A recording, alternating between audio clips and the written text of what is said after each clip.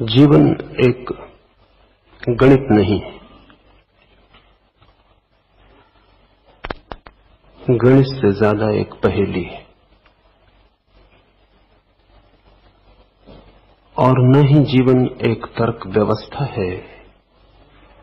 तर्क व्यवस्था से ज़्यादा एक रहस्य गणित का मार्ग सीधा साफ़ है। पहेली सीधी साफ़ नहीं होती। और सीधी साफ़ हो तो पहेली नहीं हो पाती। और तर्क की निष्पत्तियाँ बीज में ही छुपी रहती हैं। तर्क किसी नई चीज़ को कभी उपलब्ध नहीं होता। रहस्य सदा ही अपने पार चला जाता है। लाउस से इन सूत्रों में जीवन के इस रहस्य की विवेचना कर रहा है।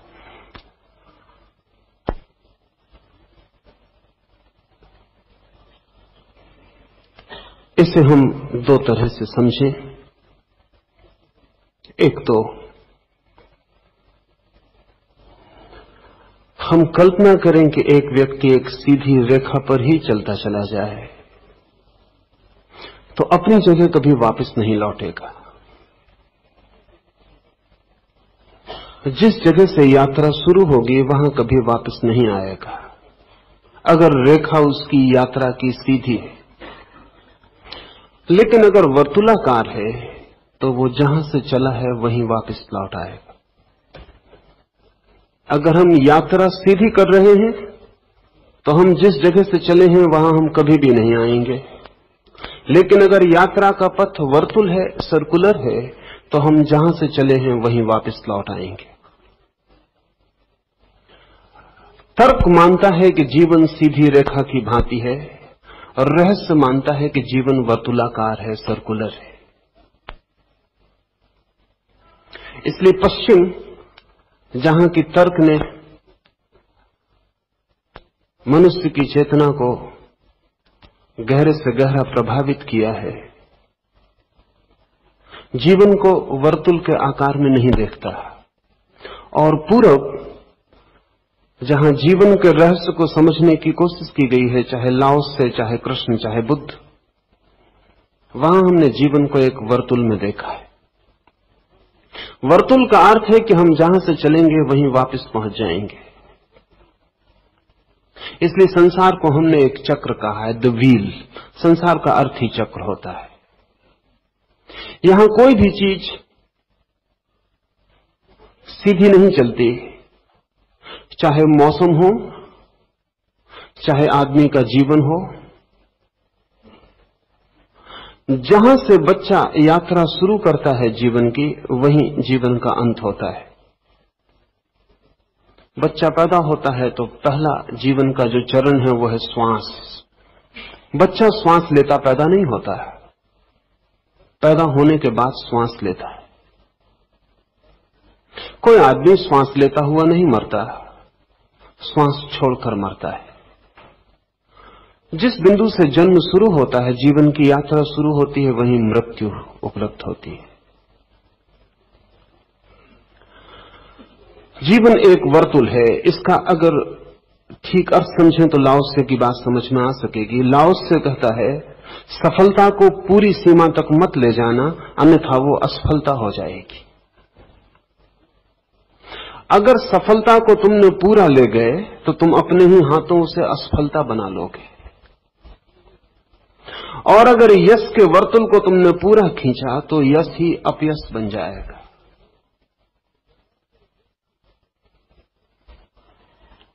यदि जीवन एक रेखा की भांति है तो लाओस से गलत है। और अगर जीवन एक वर्तुल है तो लाओस से सही है। इस बात पर निर्भर करेगा कि जीवन क्या है। एक सीधी रेखा, इसलिए पूरब ने इतिहास नहीं लिखा पश्चिम ने इतिहास लिखा है। क्योंकि पश्चिम मानता है कि जो घटना एक बार घटी है, वो दोबारा नहीं घटेगी। अनरिपीटेबल है। प्रत्येक घटना अद्वितीय है।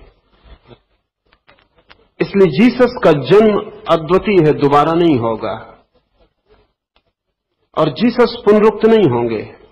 इसलिए सारा इतिहास जीसस से हिसाब रखता है। जीसस के पहले और जीसस के बाद सारी दुनिया में इतिहास को हम नापते हैं। ऐसा हम राम के साथ नहीं नाप सकते।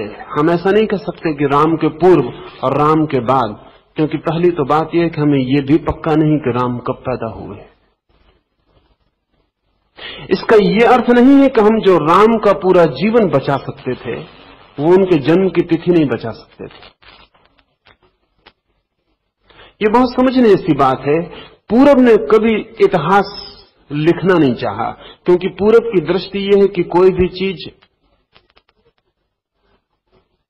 अद्वितीय नहीं है सभी चीज़ें वर्तुल में वापस वापस लौट आती हैं। राम हर युग में होते रहे और हर युग में होते रहेंगे। नाम बदल जाए, रूप बदल जाए, लेकिन वो जो मौलिक घटना है वो नहीं बदलती, वो पुनरुक्त होती रहती। इसलिए बहुत मीठी कथा है और वो ये कि वाल्मीकि ने राम के जन्म के पहले कथा लिखी। पीछे राम हुए। ऐसा दुनिया में कहीं भी सोचा भी नहीं जा सकता राम हुए बाद में वाल्मीकि ने कथा लिखी पहले। क्योंकि राम का होना पूरब की दृष्टि में एक वर्तुलाकार घटना है। जैसे एक चाक घूमता है तो उस उस चाक में जो हिस्सा अभी ऊपर था, अभी नीचे चला गया, फिर ऊपर आ जाएगा, फिर ऊपर आता रहेगा। जैन कहते हैं कि हर हर कल्प में उनके 24 तीर्थंकर होते रहेंगे। नाम बदलेगा, रूप बदलेगा, लेकिन तीर्थंकर के होने की घटना पुनरुक्त होती रहेगी। इसलिए पूरब ने इतिहास नहीं लिखा, पूरब ने पुराण लिखा। पुराण का अर्थ है, वो जो सारभूत है, जो सदा होता रहेगा बार बार होता रहेगा। इतिहास का अर्थ है कि जो दोबारा कभी नहीं होगा। अगर जीवन एक वर्तुल में घूम रहा है तो फिर ये बार बार हिसाब रखने की ज़रूरत नहीं कि राम कब पैदा होते हैं और कब मर जाते हैं। राम का होने का क्या अर्थ है, इतना ही याद रखना काफ़ी है। राम का सारभूत व्यक्तित्व क्या है, इतना ही याद रखना काफ़ी है।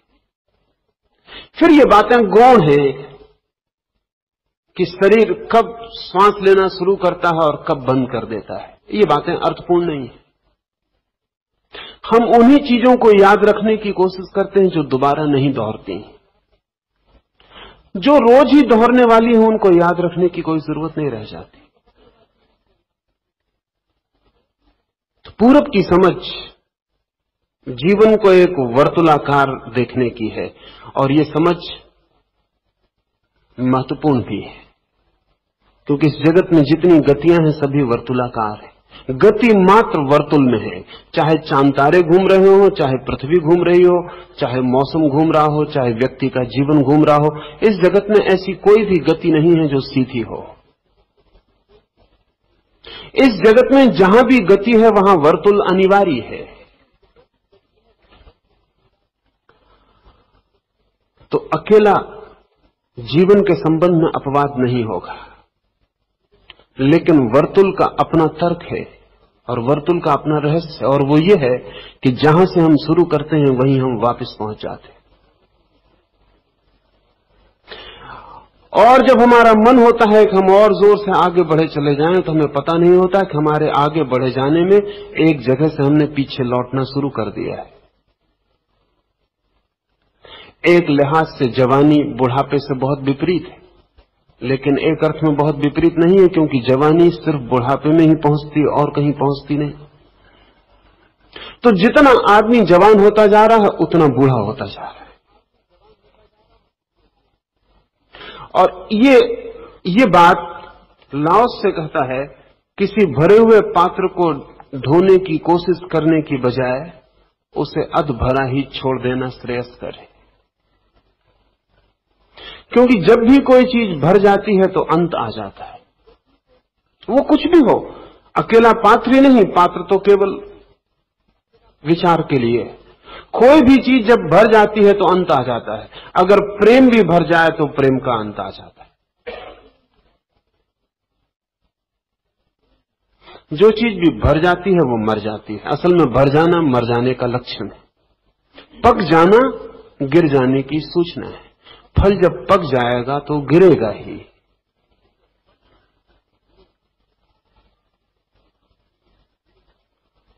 तो जब भी हम किसी चीज़ को पूरा कर लेते हैं, तभी समाप्त हो जाती है। तो लाओस से कहता है कि जीवन के सत्य को अगर समझना हो तो ध्यान रखना, किसी पात्र को भरने के बजाय अध भरा रखना ही श्रेयस्कर है, लेकिन बड़ा कठिन है। अति कठिन है। क्योंकि जीवन की सभी प्रक्रियाएँ भरने के लिए आतुर है। जब आप अपनी तिजोरी भरना शुरू करते हैं तो आधे पर रुकना मुश्किल है। तिजोरी तो दूर है, जब आप अपने पेट में भोजन डालना शुरू करते हैं, तब भी आधे पर रुकना मुश्किल है। जब आप किसी को प्रेम करना शुरू करते हैं तो आधे पर रुकना मुश्किल है। जब आप सफल होना शुरू करते हैं तो आधे पर रुकना मुश्किल है। महत्वाकांक्षा आधे पर कैसे रुक सकती? सच तो यह है, जब महत्वाकांक्षा आधे पर पहुँचती है, तभी प्राणवान होती है। और तभी आशा बंधती है कि अब जल्दी ही सब पूरा हो जाएगा। और जितनी तीव्रता से हम पूरा करना शुरू करते हैं, उतनी ही तीव्रता से नष्ट होना शुरू हो जाता तो जिस बात को भी पूरा कर लेंगे, वो नष्ट हो जाएगी।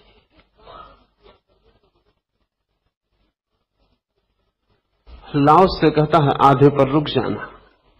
आधे पर रुक जाना संयम है। और संयम अति कठिन है। जीवन के समस्त नियमों पर आधे पर रुक जाना संयम है। पर आधे पर रुकना बहुत कठिन, बड़ा तप है। क्योंकि जब हम आधे पर होते हैं, तभी पहली दफ़ा आश्वासन आता है मन में कि अब पूरा हो सकता है। अब रुकने की कोई भी ज़रूरत नहीं। जब आप बिल्कुल सिंहासन पर पैर रखने के करीब पहुँच गए हो, सारी सीढ़ियाँ पार करके, सीढ़ियों के नीचे रुक जाना बहुत आसान था। पहला कदम ही न उठाना बहुत आसान था। क्योंकि आदमी अपने मन में समझा ले सकता है कि अंगूर खट्टे हैं। और लंबी यात्रा का कष्ट उठाने से भी बच सकता है, आलस्य भी सहयोगी हो सकता है, प्रमाद भी रोक सकता है। संघर्ष की संभावना और संघर्ष के साहस की कमी भी रुकावट बन सकती है। आदमी पहला कदम उठाने से रुक सकता है। लेकिन जब सिंहासन पर आधा कदम उठ जाए और पूरी आशा बन जाए कि अब सिंहासन पर पैर रख सकता हूँ, तब लाओस से कहता है, पैर को रोक लेना। क्योंकि सिंहासन पर पहुँचना सिंहासन से गिरने के अतिरिक्त और कहीं नहीं ले जाता। सिंहासन पर पहुँचने के बाद करिएगा भी क्या? फल पक जाएगा और गिरेगा। सफलता पूरी होगी और असफलता बन जाएगी। प्रेम पूरा होगा और मृत्यु घट जाएगी।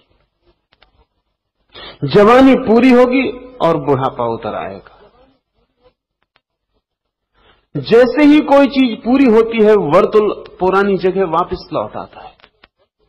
हम वहीं आ जाते हैं जहाँ से हमने शुरू किया था। बूढ़ा आदमी उतना ही असहाय हो जाता है जितना असहाय पहले दिन का बच्चा होता है। और जीवन भर की सफलता की यात्रा पुनः बच्चे की असफलता में छोड़ जाती। एक अर्थ में शायद बच्चे से भी ज़्यादा असहाय होता है। क्योंकि बच्चे को तो संभालने को उसके माँ बाप भी होते हैं।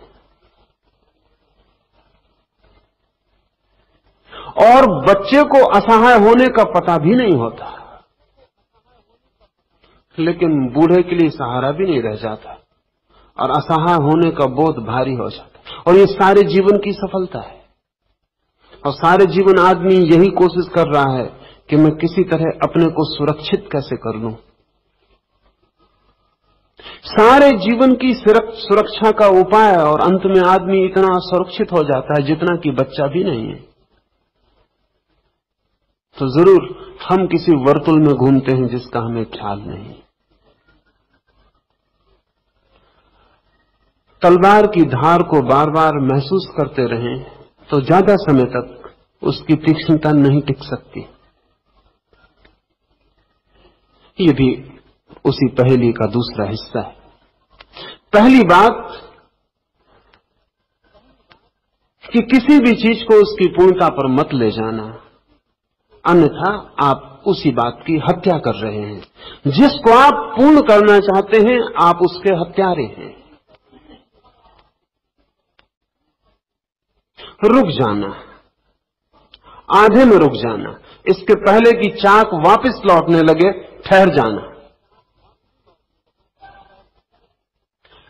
उसी पहेली का दूसरा हिस्सा लाओ से कहता है कि किसी चीज़ को बार बार महसूस करने से उसकी तीक्ष्णता मर जाती। अगर तलवार पर धार रखी है और बार बार उसकी धार को महसूस करते रहें कि धार है या नहीं तो धार मर जाएगी। रही भी हो तो भी ये बार बार परीक्षा करने से मर जाएगी। लेकिन ज़िंदगी में हम ये भी करते हैं, अगर मेरा किसी से प्रेम है तो दिन में मैं चार बार पता लगा लेना चाहता हूँ कि प्रेम है या नहीं। पूछ लेना चाहता हूँ। उपाय करता हूँ कि कह दिया जाए कि हाँ, प्रेम है। लेकिन जिस चीज़ को बार बार महसूस किया जाता है, उसकी धार मर जाती प्रेमी ही एक दूसरे के प्रेम की हत्या कर डालते हैं। और ये प्रेम के लिए नहीं, जीवन के समस्त तत्वों के लिए लागू है। अगर आपको बार बार ख्याल आता रहे कि आप ज्ञानी हैं तो आप अपनी धार अपने हाथ से ही मार लेंगे। अगर आपको बार बार ये स्मरण होता रहे कि मैं श्रेष्ठ हूँ तो आपकी श्रेष्ठता आप ही अपने हाथ से पहुँच डालेंगे जिस चीज़ को भी हम बार बार एहसास करते हैं, वो क्यों इतनी जल्दी मिट जाती है? उसके कारण है।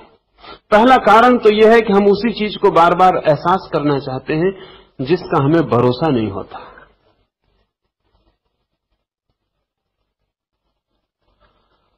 भीतर हम जानते ही हैं कि वो नहीं है। वो जो भीतर भरोसा नहीं है, उसी को पूरा करने के लिए हम जाँच करते हैं। लेकिन जाँच करने की कोई भी चेष्टा निरंतर, जिसकी हम जाँच करते हैं, उसकी तीक्ष्णता को भी नष्ट करेगी ही। क्योंकि तीक्ष्णता होती है तीव्र, पहले अनुभव में। और जितनी पुनरुक्ति होती है, अनुभव की उतनी ही तीक्ष्णता कम हो जाती मेरे पास लोग आते हैं, वो कहते हैं, ध्यान में हमें बहुत गहरा अनुभव पहली बार हुआ, लेकिन अब वैसा नहीं हो रहा है। अब वैसे अनुभव को वो रोज रोज लाने की कोशिश में लगे हैं। तलवार की धार भी तीक्ष्णता खो देती, ध्यान की धार भी तीक्ष्णता खो देगी। असल में जिस अनुभव को हम पुनरुक्त करना चाहते हैं, पुनरुक्त करने के कारण ही वो अनुभव बासा हो जाता है। बासा होने के कारण उसकी संवेदना क्षीण हो जाती है। अगर आप एक ही इत्र का उपयोग करते हैं रोज तो सारी दुनिया को भला पता चलता हो, आपकी इत्र की सुगंध का आपको पता चलना बंद हो जाता है। तीक्ष्णता मर जाती है, रोज की पुनरुक्ति और आपके नासापुट संवेदना खो देते हैं।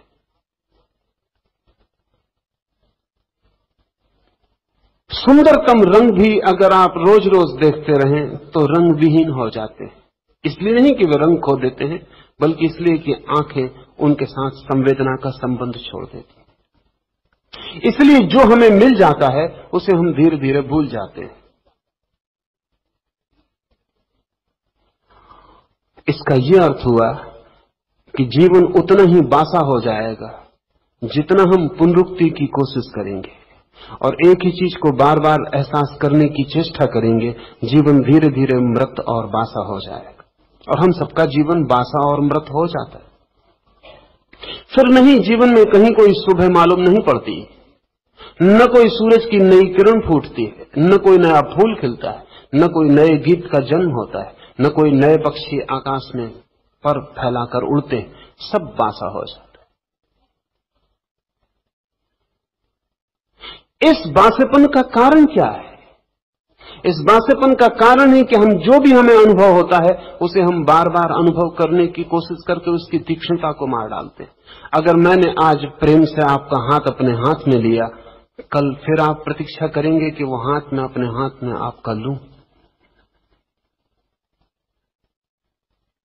और अगर मुझे भी लगा कि बहुत सुखद प्रतीति थी तो मैं भी कल कोशिश करूँगा कि वो हाथ फिर अपने हाथ में लूँ और हम दोनों मिलकर ही उस सुख की अनुभूति को बासा कर देंगे। कल हाथ हाथ में आएगा और तब लगेगा कि कहीं कुछ धोखा हो गया। क्योंकि वैसा सुख जो पूर्व में जाना था, अब नहीं मिलता है। तब हम और पागल की तरह हाथों को पकड़ेंगे, और ज़्यादा पकड़ेंगे, और कोशिश करेंगे कि उस सुख का हमें अनुभव हो जाए, वो सुख खो जाएगा। हमारी चेष्टा ही उस सुख का अंत बन जाएगी। हम सभी सुख को नष्ट करते रहते हैं।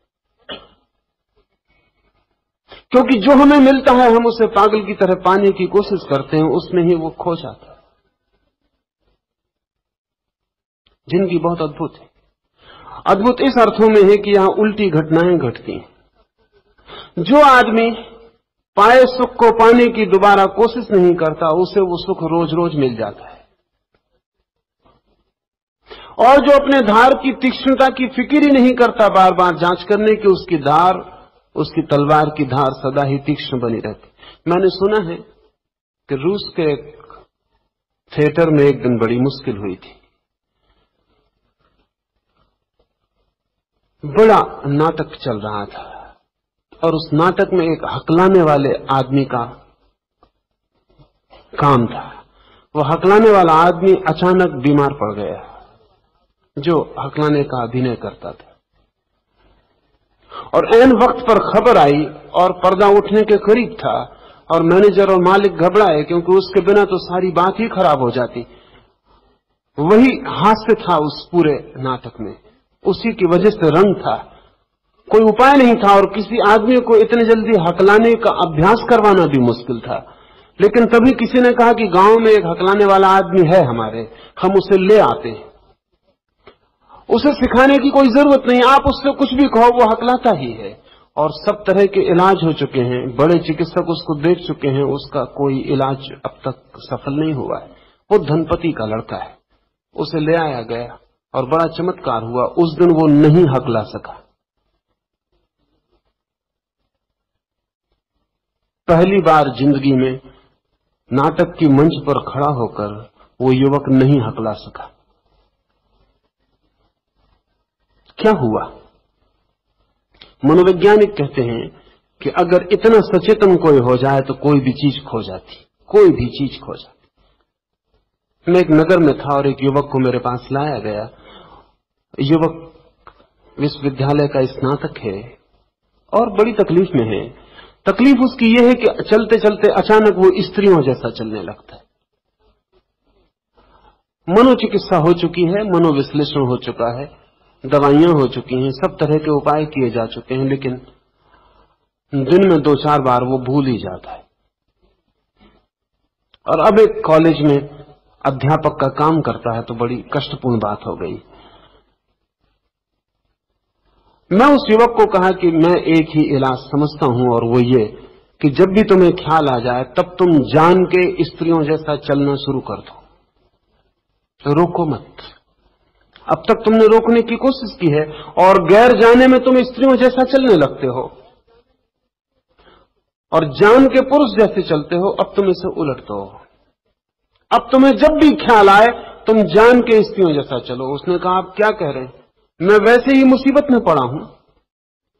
बिना जाने ही मुसीबत में पड़ा हूँ और अब जान के भी चलूँगा तो तो 24 घंटे स्त्रियों जैसा ही चलता रहूँगा? मैंने उसे कहा, तुम मेरे सामने ही चल के बता दो। उसने बहुत कोशिश की, वो नहीं चल पाया। चेतना का एक नियम है, जिस चीज़ की आप बहुत कोशिश करते हैं, उसकी धार मिट जाती। उसकी धार को पाना मुश्किल है। हम सभी दुख सुख की धार को मार लेते हैं। और बड़े मज़े की बात है कि दुख में हमारे धार बनी रहती है। हम इतना दुख जो पाते हैं, इसका कारण जगत में बहुत दुख है। ऐसा नहीं, हमारे जीने के ढंग में बुनियादी भूल है। दुख को हम कभी छूना नहीं चाहते, इसलिए उसमें धार बनी रहती है। और सुख को हम छूते छूते रहते हैं निरंतर उसकी धार मर जाती आखिर में हम पाते हैं दुख दुख रह गया हाथ में, और सुख की कोई खबर नहीं रही। तब हम कहते हैं कि सुख तो मुश्किल से कभी मिला हो मिला हो। सपना मालूम पड़ता है, सारा जीवन दुख है। लेकिन दुख की ये धार हमारे ही कारण है। इससे उल्टा जो कर लेता है, उसका नाम तप है। वो दुख की धार को छूता रहता है और सुख की फ़िक्र छोड़ देता है।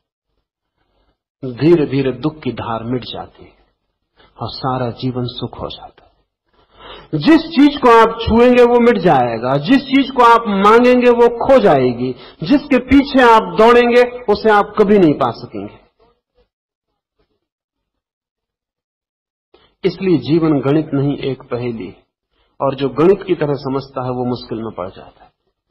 जो उसे एक रहस्य और एक पहेली की तरह समझता है, वो उसके सार राज को समझकर जीवन की परम समता को उपलब्ध हो जाता है। लाओस से कहता है सोने और हीरे से जब भवन भर जाए, तब मालिक उसकी रक्षा नहीं कर सकता है। ये उल्टी बातें मालूम पड़ती हैं कंट्रोडिक्टरी मालूम पड़ती हैं, विरोधाभासी मालूम पड़ती हैं।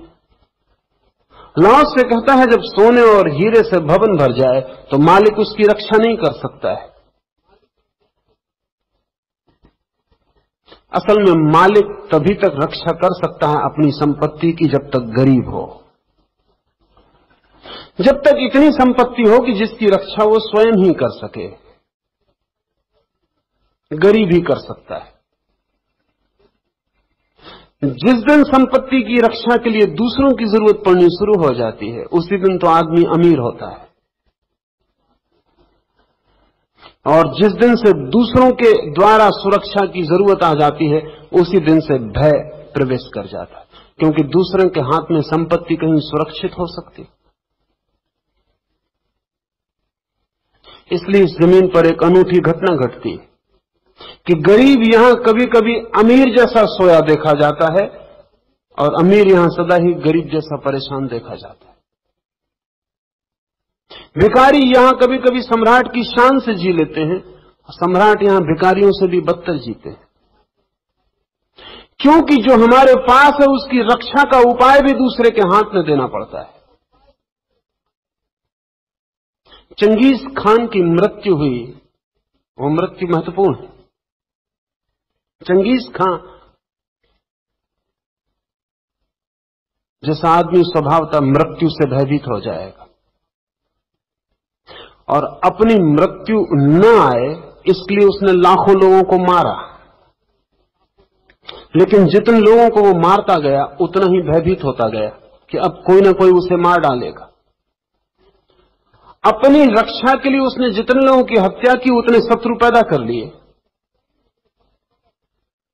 रात वो सो नहीं सकता था,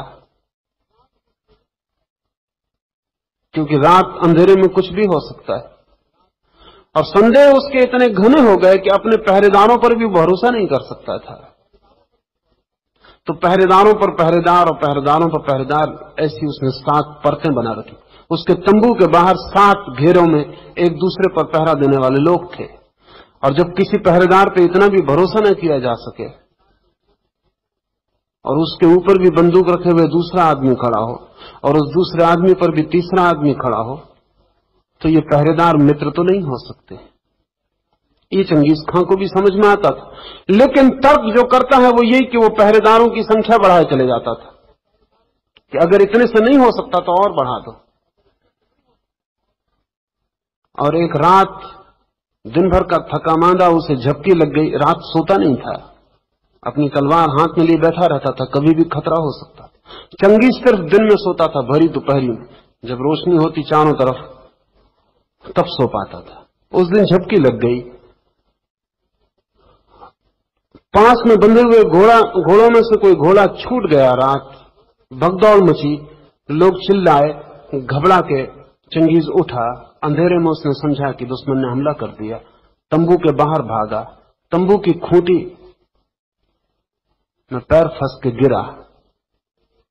तंबू की खूंटी उसके पेट में धस गई। ये तंबू सुरक्षा के लिए था, ये खूंटी रक्षा के लिए थी, ये पहरेदार, ये घोड़े, ये सब इंतज़ाम था, व्यवस्था थी। कोई मारने नहीं आया था। किसी ने मारा भी नहीं चंगेज को। चंगेज मरा अपने ही भय सुरक्षा के उपाय के लिए भागा था। पूरे जीवन में ऐसी घटना घटती है। आदमी मकान बनाता है, फिर मकान पर पहरेदार बिठाने पड़ते हैं, धन इकट्ठा करता है, फिर धन की सुरक्षा करनी पड़ती है। और ये जाल बढ़ता चला जाता है। और ये बात ही भूल जाती है कि मैंने जिस आदमी के लिए ये सब इंतज़ाम किया था, वो अब सिर्फ़ एक पहरेदार रह गया है और कुछ भी नहीं।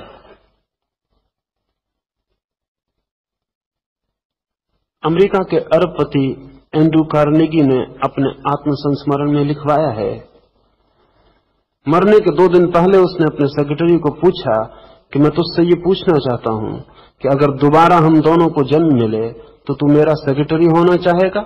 या तू एंड्रू कार्नेगी होना चाहेगा और मुझे अपना सेक्रेटरी बनाना चाहेगा? एंड्रू कार्नेगी मरा तो दस अरब रुपए छोड़कर मरा। उसके सेक्रेटरी का माफ़ करिए, आपको मैं इतना जानता हूँ कि कभी भी परमात्मा से ऐसी प्रार्थना नहीं कर सकता कि मैं एंड्रू कार्नेगी होना चाहूँ। काश आपका मैं सेक्रेटरी न होता तो शायद इस कामना से भी मर सकता था कि भगवान मुझे भी एंड्रू कार्नेगी बनाते। कार्नेगी ने पूछा, तेरा क्या मतलब? तो सेक्रेटरी ने कहा कि, मैं देखता हूँ रोज जो हो रहा है। आप सबसे ज़्यादा गरीब आदमी न आप ठीक से सो सकते हैं, न आप ठीक से बैठ सकते हैं, ना आप ठीक से बात कर सकते हैं, ना आपको अपनी पत्नी से मिलने की फुर्सत है, ना अपने बच्चों के साथ बात करने की फुर्सत है। और देखता हूँ कि दफ्तर में आप सुबह साढ़े आठ बजे पहुँच जाते हैं, चपरासी भी साढ़े नौ बजे आते हैं, क्लर्क साढ़े दस बजे आते हैं, मैनेजर बारह बजे आता है, डायरेक्टर्स एक बजे पहुँचते हैं। डायरेक्टर्स तीन बजे चले जाते हैं, मैनेजर चार बजे चला जाता है, साढ़े चार बजे क्लर्क भी चले जाते हैं, पाँच बजे चपरासी भी चला जाता है। मैंने आपको सात बजे से पहले कभी घर लौटते नहीं देखा।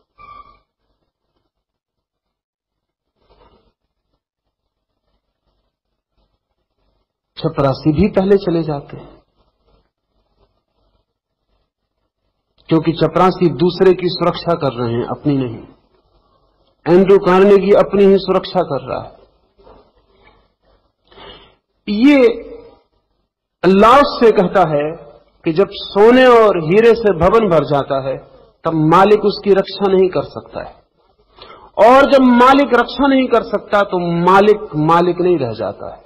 उस सोने और हीरों का गुलाम हो जाता हम अपनी संपत्ति के कब गुलाम हो जाते हैं, हमें पता ही नहीं चलता। मालिक होने के लिए ही कोशिश करते हैं। भूल ही जाते हैं। कि जिसके हमने मालिक होना चाहा था, हम बहुत पहले उसके गुलाम हो चुके असल में इस दुनिया में कोई भी आदमी यदि मालिक बनने की कोशिश करेगा तो गुलाम हो जाएगा। असल में हम जिसके भी मालिक बनना चाहेंगे, उसके हमें गुलाम होना ही पड़ेगा। बिना गुलाम बने मालिक बनने का कोई उपाय नहीं है। इसीलिए जीवन एक रहस्य यहाँ मालिक तो केवल वे ही लोग बन पाते हैं सच्चे मालिक, जो किसी के मालिक ही नहीं बनते।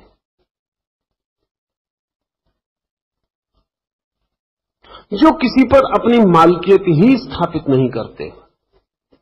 आदमी की तो हम बात छोड़ दें, चीज़ों पर भी अगर आपने मालकियत स्थापित की तो चीज़ें आपकी मालिक हो जाती।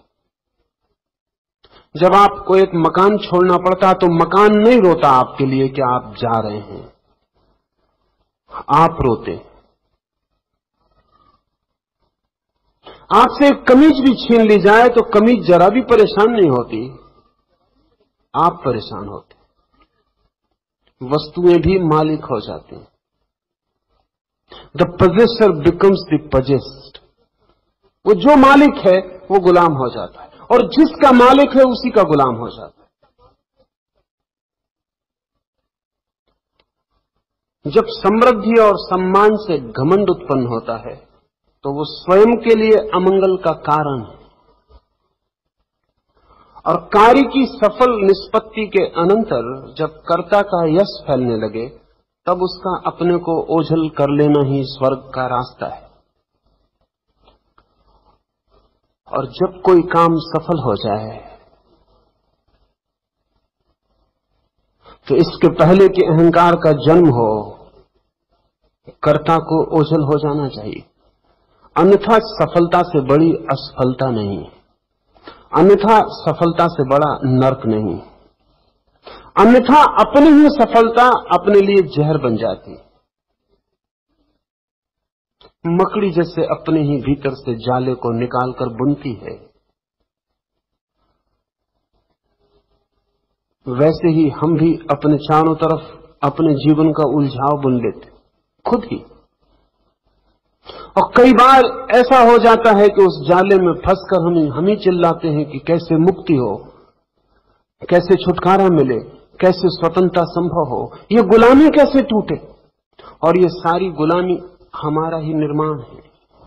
लेकिन निर्माण कुछ ऐसे ढंग से होता है कि जब तक हो ही ना जाए, हमें पता नहीं चलता।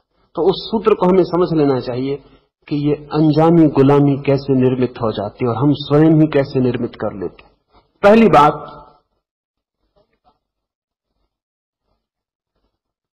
इस पृथ्वी पर एक ही मालकियत संभव है, ऐसा स्वभाव है, ऐसा नियम है। और वो मालकियत अपनी अपने अतिरिक्त और किसी की मालकियत संभव नहीं और जब भी कोई अपने सिवाय किसी और पर मालकियत करने जाएगा तो गुलाम हो जाएगा। अगर महावीर या बुद्ध अपने राजमहल को और अपने राज्य को छोड़कर निकल जाते हैं तो आप आप सदा यही सोचते होंगे कि कितना महान त्याग है कि राज्य को, धन को, संपदा को, इतने राजमहलों को छोड़कर निकल जाते। तो आप गलती में महावीर और बुद्ध सिर्फ़ अपनी गुलामी को छोड़कर निकल जाते ये बात उन्हें साफ़ हो जाती है कि अपने सिवाय और सभी तरह की मालकियत गुलामी तो फिर जितनी बड़ी ये मालकियत होगी, उतनी बड़ी गुलामी हो जाती इसलिए मज़े की बात है, आपने कभी सुना अब तक इतिहास में कि कोई भिखारी अपने भिकमंगेपन को छोड़ के और त्यागी हो गया किसी भिखारी ने अपना भिक्षा पात्र छोड़ दिया हो और त्यागी हो गया हो। क्या बात है कि भिखारी भिक्षा पात्र नहीं छोड़ पाता और कभी कोई सम्राट अपना साम्राज्य छोड़ देता है? सम्राट तो बहुत हुए हैं साम्राज्य को छोड़ देने वाले, लेकिन भिखारी अब तक इतने साहस का नहीं हो सका कि अपना भिक्षा पात्र छोड़ दे। बात क्या है? असल में भिखारी की गुलामी ही इतनी छोटी होती है। कि उसे पता ही नहीं चलता कि मैं गुलाम भी हूँ। सम्राट की गुलामी इतनी बड़ी हो जाती है और इतनी आत्मघाती हो जाती है कि उसे पता चलता है कि मैं गुलाम हूँ। सम्राट के पास साम्राज्य एक कारागृह की तरह खड़ा हो जाता है। भिखारी का भिक्षा पात्र कारागृह मालूम नहीं पड़ता है, क्योंकि अभी भी भिखारी अपने भिक्षा पात्र को लेकर कहीं भी चल पड़ता है। अभी कारागृह इतना छोटा है कि हाथ में टांगा जा सकता लेकिन एक सम्राट अपने कारागृह को लेकर कहीं भी नहीं जा सकता। कारागृह में ही उसे होना पड़ता है। सम्राट छोड़ सके, क्योंकि गुलामी इतनी बड़ी हो गई कि अपनी मालकियत का भ्रम छूट गया। भिखारी नहीं छोड़ पाता। गुलामी इतनी छोटी है कि मालकियत का भ्रम कायम बना रहता है। इसलिए मैं जानता हूँ जैसा वो ऐसा है कि जब तक आपको भ्रम बना रहे, कि आप अपनी चीज़ों के मालिक हैं, तब तक आप समझना कि आप गरीब आदमी चीज़ें इतनी कम हैं कि अभी आपको पता नहीं चल रहा है। जिस दिन आपको पता चलना शुरू हो जाए कि अब चीज़ें मालिक हैं, उस दिन आप समझना कि आप अमीर हो गए। अमीर का एक ही लक्षण है कि पता चलने लगे कि चीज़ों का गुलाम हो गया हूँ। और गरीब का एक ही लक्षण है कि उसे अभी पता नहीं चलता कि चीज़ें उसकी मालिक हैं। अभी भी मालिकियत का भ्रम उसे कायम रहता है। लाओस से कह रहा है कि अगर सच में ही तुम मालिक होना चाहो तो इस तरह के मालिक मत बन जाना कि तुम्हारी चीज़ों की रक्षा की भी ज़रूरत पड़ जाए, क्योंकि तब तुम पहरेदार हो जाओगे। अल्लाह से कह रहा है कि जब तुम्हारी सफलता किसी भी काम में तुम सफल हो जाओ तो इसके पहले कि कर्ता का भाव सघन हो, तुम ओझल हो जाना। कोई जान भी ना पाए कि तुमने किया है। लाओसे का स्वयं का नाम जब चीन में पहुँच गया गाँव गाँव और घर घर में, और लोग लाओसे को खोजते हुए आने लगे, और रास्ता पूछने लगे कि लाओसे कहाँ है। और हज़ारों मील की यात्रा करके लोगों की, लोगों का आना शुरू हो गया तो लाओस से एक दिन ओझल हो गया। फिर लाओस से का कोई पता नहीं चला उस दिन के बाद। लाओस से कब मरा और कहाँ मरा, इसकी कोई खबर नहीं है। बस एक दिन ओझल हो गया। वही सलाह वो दूसरों को भी दे रहा है। वो कह रहा है, जब तुम्हारा कार्य पूर्ण हो जाए सफलता हाथ आ जाए तो तुम चुपचाप सरक जाना। लेकिन बड़ी कठिन होगी बात। जाए हम भी सरकते हैं कभी, आँख से हम भी ओझल होते हैं, लेकिन सफलता के क्षण में नहीं, असफलता के क्षण में आँख से ओझल होते जब हार जाते टूट जाते हैं, पराजित हो जाते तब हम भी ओझल होते दुख में, पीड़ा में, हम भी भाग जाना चाहते हैं, छिप जाना चाहते विषाद में, संताप में आत्मघात भी कर लेते हैं। आत्मघात का मतलब ही इतना है कि हम इस बुरी तरह ओझल हो जाना चाहते हैं कि नाम रेखा भी पीछे ना रह जाए। लेकिन अगर कोई आदमी सफलता के क्षण में ओझल हो जाए तो उसके जीवन में एक क्रांति घटित हो जाती। असफलता के क्षण में ओझल हो जाना तो बिल्कुल ही स्वाभाविक है। मन का मन की चेष्टा ही यही है कि भाग जाओ, अभी छिप जाओ, किसी को पता न चले कि तुम असफल हो गए हो। क्योंकि असफलता अहंकार को पीड़ा देती है और सफलता अहंकार को तृप्ति देती है और पोषण देती है। तो जब आदमी सफल होता है, तब तो वो सीना निकाल के चारों तरफ़ घूमना चाहता है। तब तो जिनसे वो कभी नहीं मिला था, उनसे भी मिलना चाहता है। जिन्होंने उसे कभी नहीं जाना चाहता, जाना था, उन्हें भी चाहता है कि वे भी जान लें। तब वो सारे जग में ढिंडोरा पीट देना चाहता है कि मैं सफल हो गया हूँ। ये सफलता की खबर के लिए ही तो इतना चेष्टा इतनी प्रयास था, और ये लाव से पागल मालूम पड़ता है। वो कहता है, जब सफल हो जाओ तो आँख से ओझल हो जाना। क्योंकि सफलता के क्षण में अगर अहंकार निर्मित हो जाए तो वही तुम्हारा नरक बन जाएगा। और सफलता के क्षण में अगर तुम ओझल हो सको तो लाओस से कहता है, यही स्वर्ग का द्वार है। कार्य की सफल निष्पत्ति के अनंतर जब कर्ता का यश फैलने लगे, तब उसका अपने को ओझल बना लेना ही स्वर्ग का रास्ता है। तो नर्क का अर्थ हुआ अहंकार और स्वर्ग का अर्थ हुआ अहंकार शून्यता। कोई और स्वर्ग नहीं है, कोई और नर्क भी नहीं। एक ही नर्क है। मैं जितना सघन हूँ उतने गहन नरक में हूँ। मैं जितना विरल हूँ, जितना तरल हूँ, उतना स्वर्ग में हूँ। मैं जितना हूँ, उतना नरक में हूँ। मैं जितना नहीं हूँ, उतना स्वर्ग में हूँ। मेरा होना ही मेरी पीड़ा और मेरा न होना ही मेरा आनंद है। इसे थोड़ा समझें। जब भी आपने दुख पाया है, संताप झेला है। और नर्क की आग में अपने को तड़फते पाया है। तब कभी आपने ख्याल किया कि ये पीड़ा क्या है? ये पीड़ा क्यों हो रही है? इस पीड़ा का मौलिक आधार कहाँ है? ये कोई और मुझे पीड़ा दे रहा है?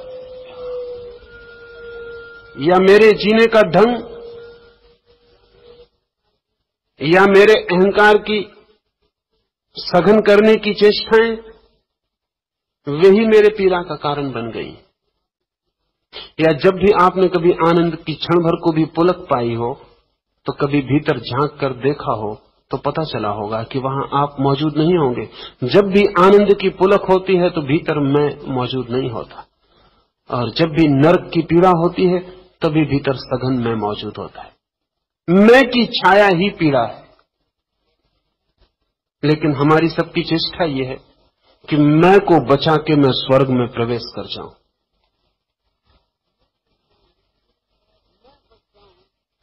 मैं बच जाऊँ और आनंद उपलब्ध हो जाए। मैं बचूं तो आनंद उपलब्ध नहीं होगा, क्योंकि मैं ही दुख है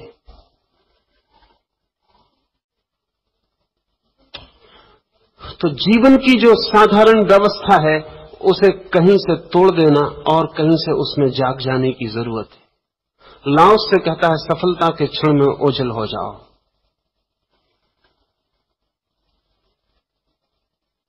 इससे दूसरी बात भी हम समझ सकते हैं कि जब असफलता का क्षण हो, तब ओझल मत होना।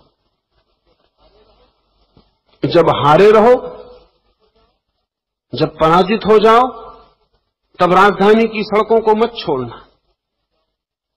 और जब जीत जाओ, तब हट जाना कि कोई देखने को भी ना हो। विजय के क्षण में जो हट सकता है, उसका अहंकार तत्क्षण तिरोहित हो जाता है एवोपरेट हो जाता है। पराजय के क्षण में जो टिक सकता है, उसका भी अहंकार तिरोहित हो जाता है। इससे विपरीत दो स्थितियाँ हैं। पराजय के क्षण में छिप जाओ और विजय के क्षण में प्रकट हो जाओ तो अहंकार मज़बूत होता है। अहंकार के कारण ही हम छिपना चाहते हैं हारी हुई हालत में, और अहंकार के कारण ही हम प्रकट होना चाहते हैं जीती हुई हालत में।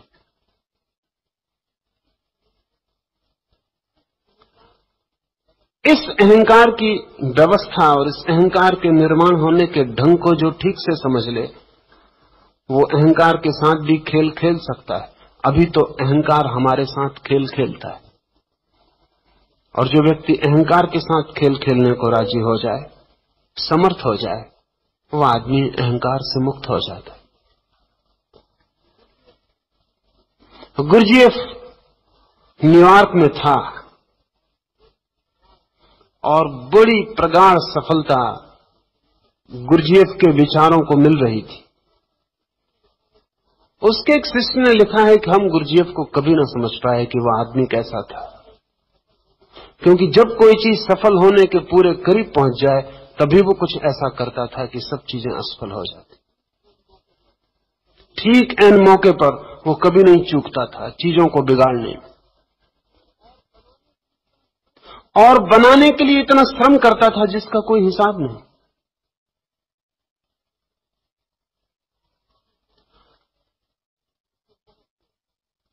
उसने बहुत से साधना आश्रम निर्मित किए। एक साधना आश्रम पेरिस के पास निर्मित किया। वर्षों मेहनत की।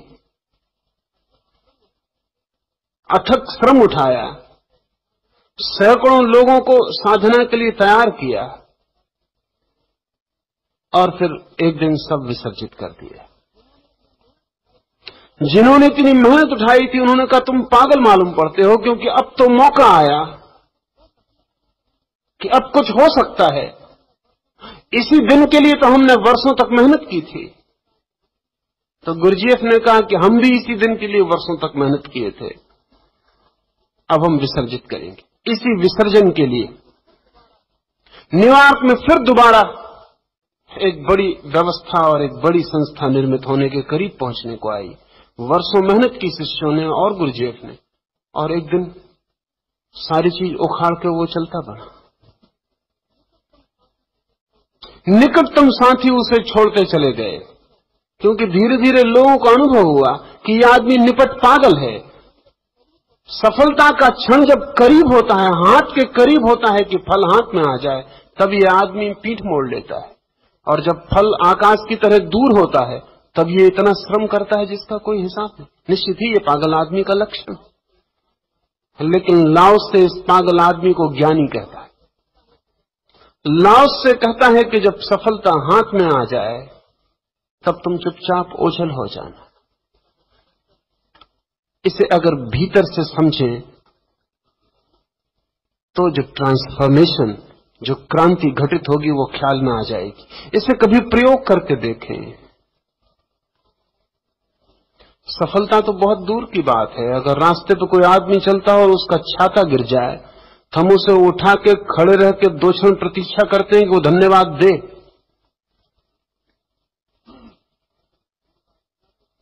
और अगर वो धन्यवाद न दे तो चित्त को बड़ी निराशा, बड़ी उदासी होती।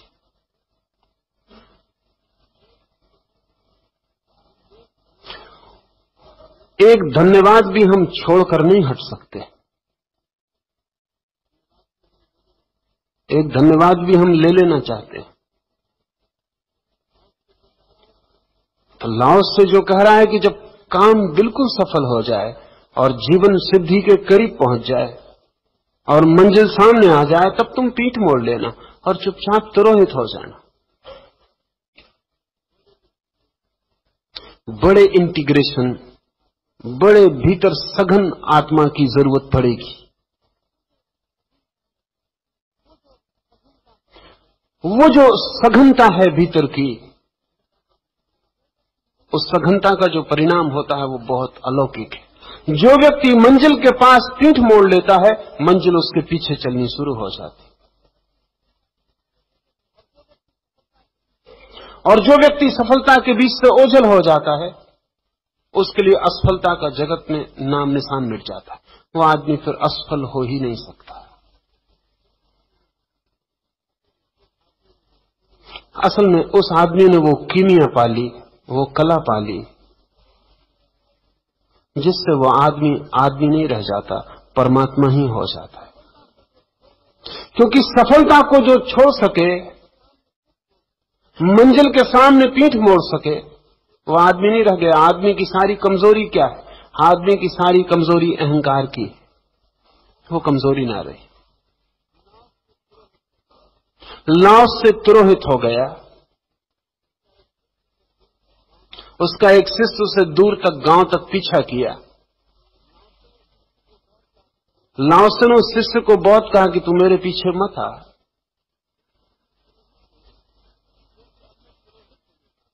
क्योंकि अब मैं तिरोहित होने जा रहा हूँ। और तू पीछे रुक। क्योंकि वहाँ सफलता, बड़ी संभावना है सफलता की। वहाँ लोग हज़ारों आ रहे हैं पूछने मुझे।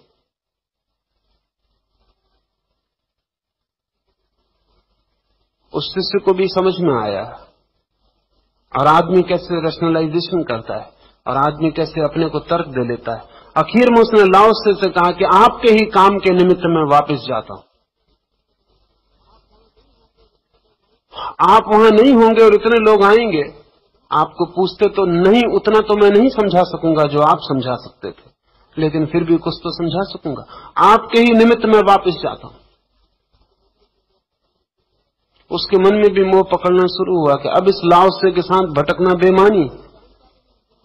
इसे अब कोई जानता भी नहीं, जिन गाँवों से ये गुजर रहा है, इसे कोई पहचानता भी नहीं। और अब ये कहाँ जाके समाप्त होगा पता नहीं। और इसकी ज़िंदगी भर की मेहनत इसने ज़िंदगी भर तो वहाँ सुगंध फैलाई। अब लोग आने शुरू हुए हैं सुगंध के कारण, और ये भाग गया। वो शिष्य एक रात लौट गया वापस। लाओस से जिस दिन चीन की सीमा छोड़ के चीन के बाहर निकला, आखिरी बार उस सीमा पर सीमा अधिकारी ने उसे देखा।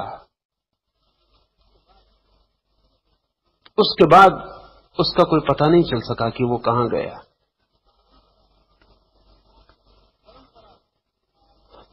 परंपरा चीन में कहती है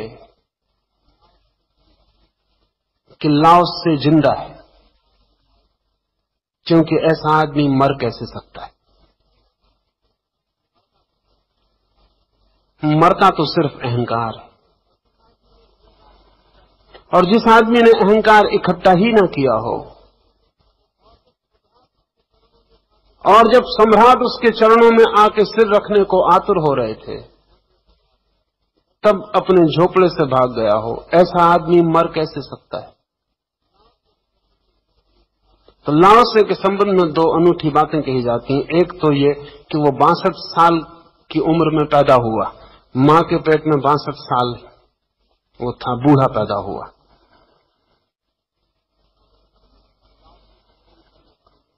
और लाओसे को प्रेम करने वाले लोग कहते हैं कि ऐसे लोग बूढ़े ही पैदा होते। हम में से अधिक लोग मरते दम तक भी बचकाने ही रहते। अगर हम अपनी तरफ़ देखें तो लाओसे की बात बहुत उल्टी नहीं मालूम पड़ेगी। अस्सी साल के आदमी को भी अगर देखें तो खिलौनों से खेलता हुआ मालूम पड़ेगा।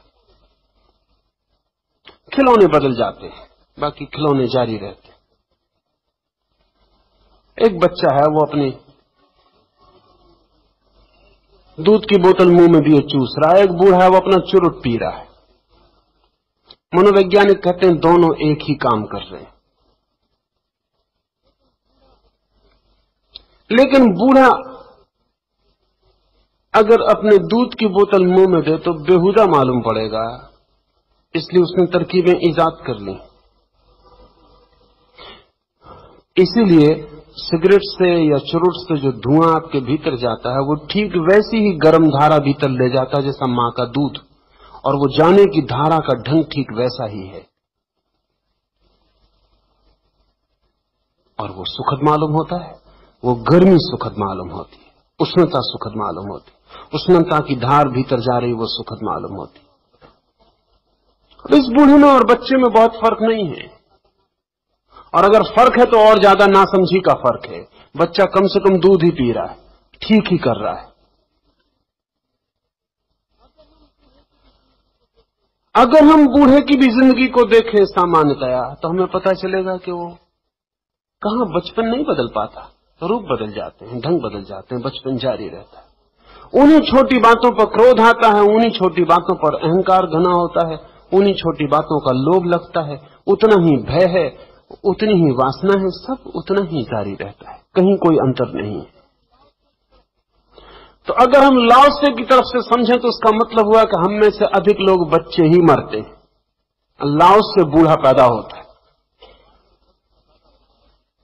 बासठ वर्ष का पैदा होता है ऐसी कथा है। कथा मीठी है और पूरब ने मीठी मीठी कथाएँ पैदा की हैं जो बड़ी अर्थपूर्ण हैं। क्योंकि लाओस से तब तक पैदा ही नहीं होता जब तक प्रौढ़ नहीं हो जाता। जब प्रौढ़ हो जाता तभी पैदा होता। और दूसरी बात लाओसे के बाबत है कि वो, उसका पता नहीं कि वो कभी मरा। मरा ही नहीं। ऐसा आदमी मरता भी नहीं। क्योंकि हमारे भीतर मरने वाली जो चीज़ है, वो हमारे अहंकार के अलावा और कुछ भी नहीं। हम नहीं मरते, पर हमारा निर्मित अहंकार मरता है। जब हम मरते हैं, तब भी हमारा अहंकार ही मरता है। हम नहीं मरते। और हमें जो पीड़ा होती है, वो हमारे मरने की पीड़ा नहीं है।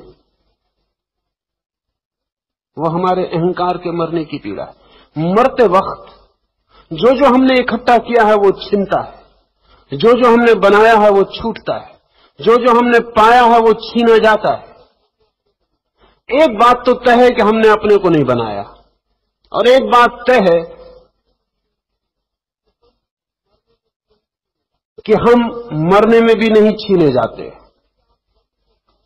आपको याद है कि आप जन्म के पहले थे?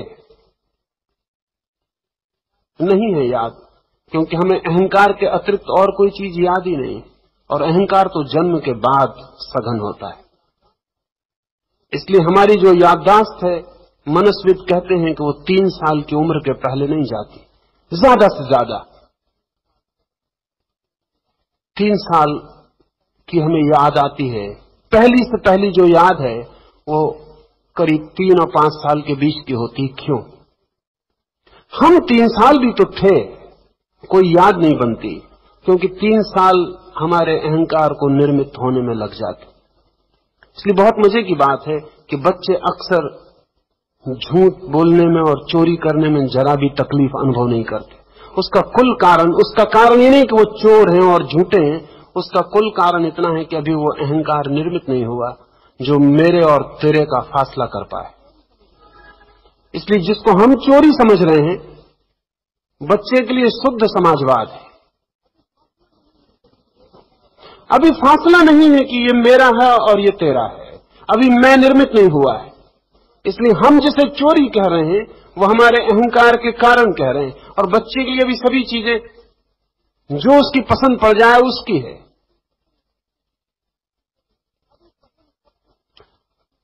अभी पसंद सब कुछ है। अभी वो अहंकार निर्णय करने वाला नहीं बना कि जो कहे, ये मेरा है और ये तेरा है. बच्चे को झूठ और सच में भी फ़र्क नहीं क्योंकि बच्चे को सपने में और सच्चाई में फ़र्क नहीं तो अक्सर बच्चे सुबह उठते हैं और रात सपने में जो खिलौना उनका टूट गया, उसके लिए सुबह रोते मिल जाते हैं। या खिलौने में जो सपना खो गया, उसके लिए वो सुबह रो सकते हैं। और तड़प सकते हैं कि वो खिलौना कहाँ गया? क्योंकि अभी स्वप्न में और सत्य में भी फासला नहीं असल में रात के सपने में और दिन की सच्चाई में फ़र्क करने के लिए भी अहंकार की ज़रूरत है। इसलिए एक मज़े की घटना घटती है। बच्चे को सपने में और सुबह की सच्चाई में फ़र्क नहीं होता और जब लाओस से जैसा आदमी अहंकार को छोड़कर जगत को देखता है, तब उसको सपने में और सच्चाई में कोई फ़र्क नहीं होता। फिर दोबारा, इसलिए शंकर जैसा आदमी कह पाता है, जगत माया है। उसका और कोई मतलब नहीं, उसका कुल मतलब इतना है कि अब एक दूसरे अर्थ में जगत भी सपने जैसा हो गया। एक दिन सपना भी जगत जैसा था, अहंकार के पूर्व। फिर अहंकार आया और जगत और सपने में फासला मालूम पड़ने लगा। वो फासला मेरे मैं के ही कारण। फिर वो मैं दोबारा गिर गया। अब अब जगत भी सपने जैसा मालूम होने लगा। मृत्यु के क्षण में हमारा निर्मित मैं टूटता है बिखरता है। एक एक जगह से उसकी खूंटियाँ उखड़ने लगती हैं। वे उखड़ती, खूंटते ही हमारी पीड़ा है। लेकिन काश हमें याद आ सके कि जब मैं नहीं था हमारे भीतर, तब भी मेरा होना था।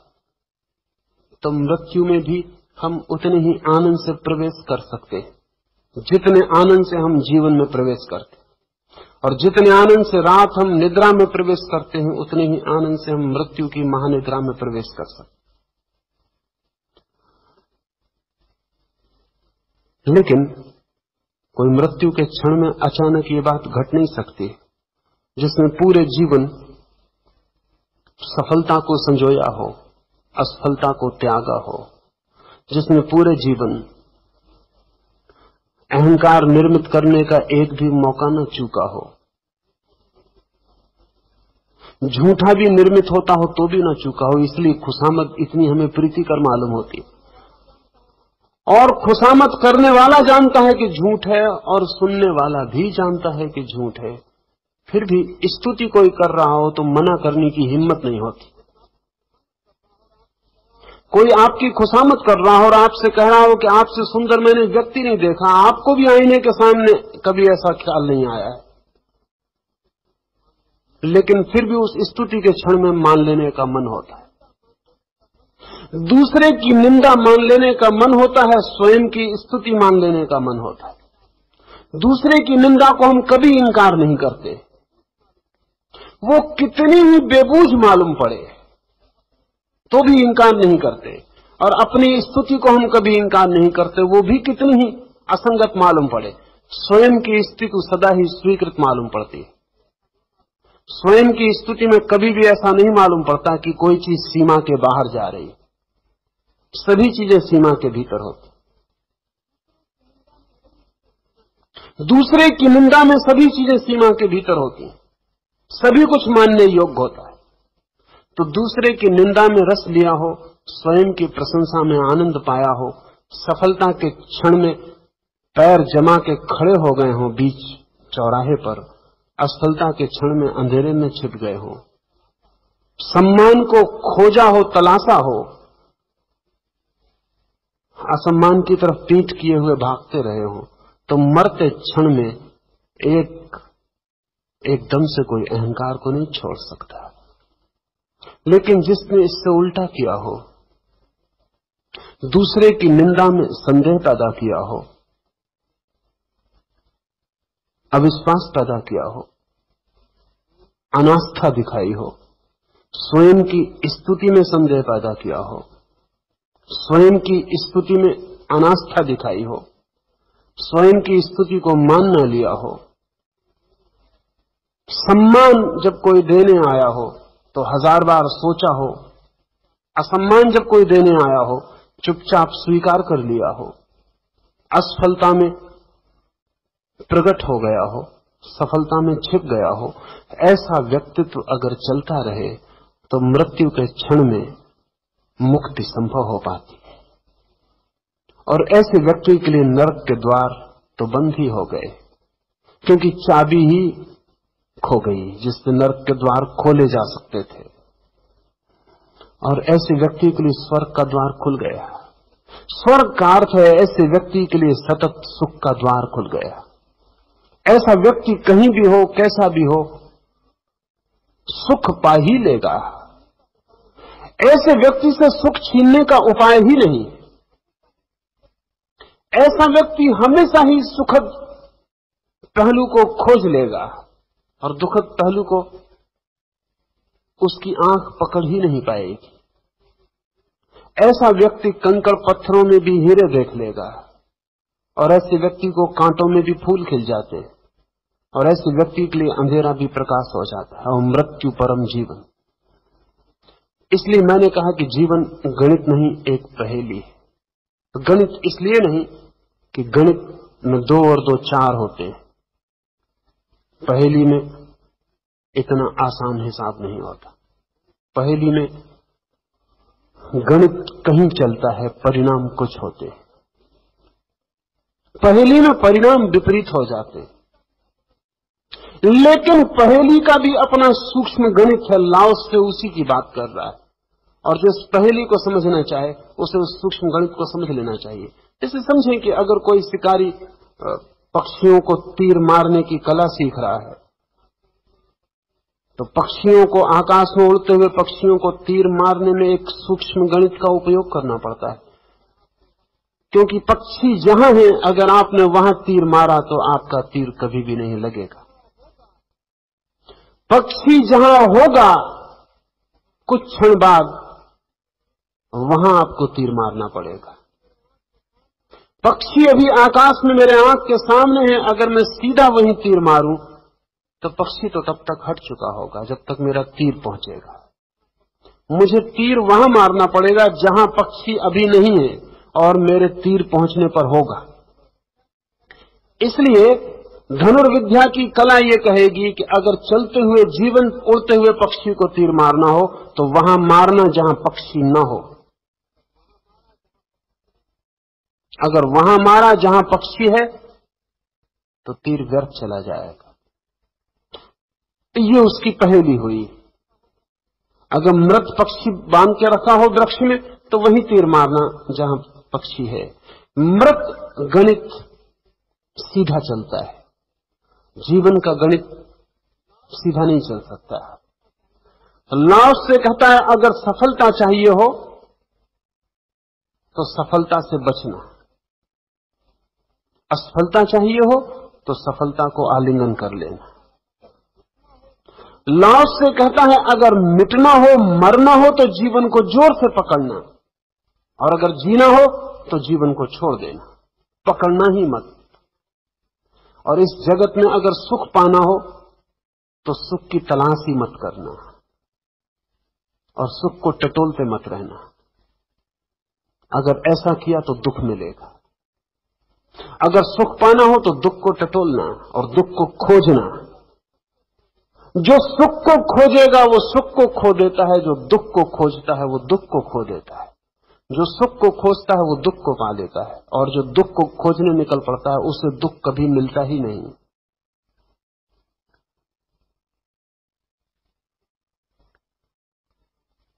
इसे हम ऐसा देख पाए तो हमारे जीवन का पूरा रास्ता और ढंग का हो जाए, और हमारे कदम और ढंग से उठे, और हमारे देखने की, सोचने की हमारा पूरा दर्शन, हमारी पूरी दृष्टि और हो जाए। ऐसी दृष्टि जब किसी की हो जाए तो उसे मैं सन्यासी कहता हूँ। लेकिन हम तो जिसे सन्यासी कहते हैं वो भी संसारी के गणित से सोचता है। वो भी परमात्मा को खोजने निकलता है। ध्यान रहे, जो परमात्मा को खोजने निकला, जितनी ताकत से खोजने निकलेगा, उतना ही पाना मुश्किल है। ये गणित सिर्फ़ धन के लिए लागू नहीं होता, ये धर्म के लिए भी लागू होता। परमात्मा कोई ऐसी चीज़ नहीं है कि आप उठाए, लकड़ी रखे, कंधे पर निकल पड़े। तो आपके हाथ में लकड़ी ही रह जाने वाली है, परमात्मा नहीं मिलेगा। परमात्मा कोई वस्तु नहीं है कि आप खोजने निकल पड़े। परमात्मा एक अनुभव है, जब आप नहीं होते, खोजने वाला नहीं होता, तब प्रकट होता। तो जो खोजने निकला है, वो मुश्किल में पड़ जाएगा। क्योंकि खोजने में तो खोजने वाला मौजूद ही रहता है। इसलिए सन्यासी का अहंकार बहुत सघन हो जाता भयंकर हो जाता परमात्मा को खोज रहा है। अगर आप उससे कहेंगे तो वो कहेगा, तुम क्या हो, तुच्छ? संसार की चीज़ें खोज रहे हो, दो कौड़ी की। हम अमोलक रतन खोज रहे हैं। और तुम क्षणभंगुर सुखों में पड़े हुए पापी हो। और हम मोक्ष खोज रहे हैं। तो स्वाभाविक उसकी अकल तेज हो जाए, वो आपके साथ न बैठ सके, उसे सिंहासन पर बिठाना पड़े। ये बिल्कुल स्वाभाविक। ये स्वाभाविक है इसलिए कि संसार का ही गणित काम कर रहा है अभी भी। अभी भी वही काम कर रहा है। मैं एक जापानी फकीर, ताका सुसु के जीवन को पढ़ता था। ताका सुसु को आके अगर कोई उसकी स्तुति करे तो ताका सुसु सुन ले सारी बात और फिर कहे कि मालूम होता है तुम किसी और आदमी के पास आ गए। क्योंकि तुमने जितनी बातें बताई, इनमें से कोई भी बात मुझमें नहीं। मालूम होता है तुम किसी और से मिलने निकले थे और किसी और के पास आ गए। मैं वो आदमी नहीं हूँ। और वो इतनी निष्ठा से कहता कि कई बार अपरिचित आदमी तो मान ही लेते कि माफ़ करिए। तो आप वो नहीं है, ताका सुसु आप नहीं है। हम तो ताका सुसु समझ के ही आपके चरणों में आ गए। तो ताका सुसु कहता कि नहीं, तुम, तुम्हें किसी ने गलत रास्ता बता दिया।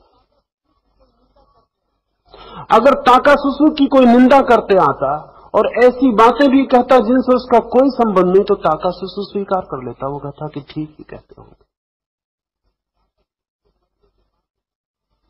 ताका सुसु के मरने के बाद ही पता चला कि उसने न मालूम कितनी झूठी निंदाओं में हाँ भर दी थी। और यह भी पता चला कि वो निंदा करने वाले को कहीं ऐसा न लगे कि इसने झूठी यहाँ भर दी है। तो सब तरह के उपाय भी करता था कि निंदा करने वाला तृप्त होकर जाए, कि निंदा उसने की तो ठीक ही की। एक आदमी आया है ताका सुसु के पास और वो कहता है कि मैंने सुना है कि तुम बहुत क्रोधी आदमी तो ताका सुसु के पास में डंडा पड़ा है वो डंडा उठा लेता और आँख बबूला हो जाता। और उसकी आँखों से आग निकलने लगती। उसके साथी शिष्यों ने, संगियों ने कभी उसे ज़िंदगी में क्रोध से भरा नहीं देखा था। वो भी चकित हो गए। उस आदमी ने कहा तो बिल्कुल ठीक ही है। अब और प्रमाण की क्या ज़रूरत है? ताका सुसु ने कहा कि बिल्कुल ठीक ही। वो आदमी चला गया। ताका सुसु के शिष्य पूछते हैं कि, हमने कभी आपको क्रोध में नहीं देखा?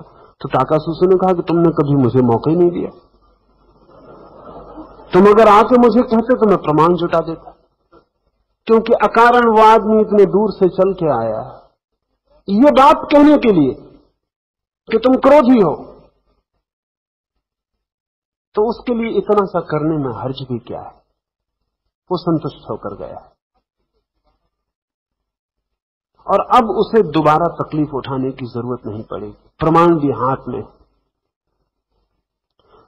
लाव से इस तरह के व्यक्ति की बात कर रहा और इस तरह के व्यक्ति का नाम ही सन्यासी है। तो जीवन में एक दूसरा आयाम खुलना शुरू होता एक दूसरा